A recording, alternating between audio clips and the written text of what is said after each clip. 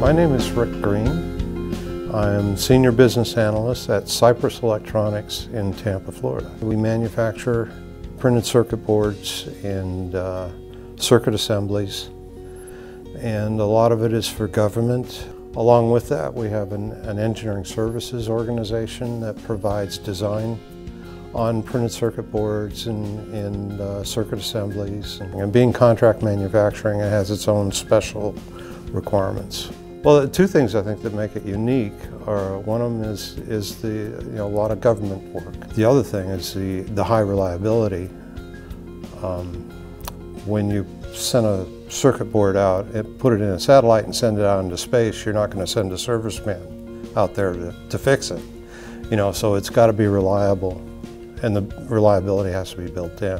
We've been a customer of Infor or some of its predecessors since all the way back in early 90s. We still have a very good relationship with Infor and there's a lot of people that we know that have come through that period with us and uh, have a lot of confidence in it. Some of the issues that we faced were accounting because of the project accounting system we were using. We could never really tell where our inventories were and manufacturing and planning the shop floor was a real challenge. Uh, the areas that I think got uh, we had the greatest improvement in were material control and shop floor control, uh, production control. We have a better picture of where we are materially.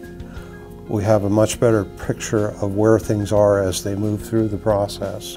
Our accounting system does reflect what our inventories actually are uh, on an actual cost basis. So, uh, you know, we get a lot better picture of where we are financially.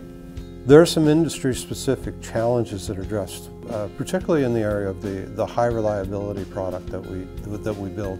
We have to keep track of so many different pieces of information as that product goes through our floor. In previous systems, we had, you know, we were doing spreadsheets, people were writing uh, access databases and just, you know, a, a lot of disparate information.